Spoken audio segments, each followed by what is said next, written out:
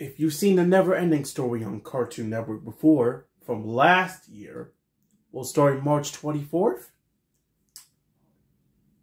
it's back for round two.